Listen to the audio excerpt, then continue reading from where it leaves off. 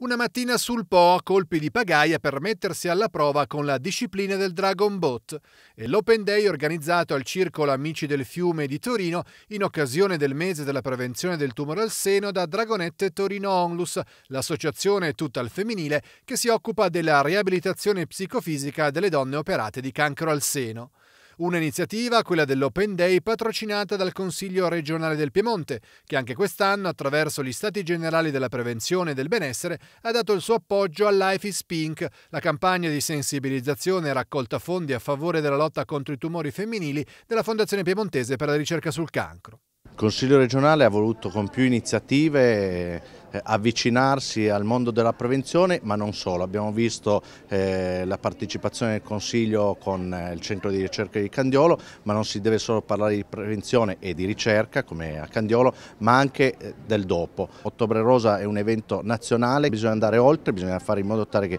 tutti i mesi dell'anno siano rose, ci sia la percezione della sanità sempre più vicina ai cittadini. Con quasi 55.000 nuove diagnosi in un anno, il tumore al seno rappresenta il 30% di tutti i tumori che colpiscono le donne e il 14,6% dei tumori diagnosticati in Italia. Per questo è necessario ribadire l'importanza della prevenzione dei controlli, grazie anche alle campagne di screening gratuiti che la Fondazione Piemontese per la ricerca sul cancro realizza con il sostegno di istituzioni e con la generosità delle donazioni private. Noi vogliamo riprendere il prima possibile con gli screening gratuiti che avevamo attivato prima della pandemia in modo da mettere a disposizione dei cittadini piemontesi la possibilità di fare screening dedicati ai principali tumori, in modo che le persone possano venire con consapevolezza a conoscere quelle che sono le patologie tumorali principali e come ci si può difendere da esse.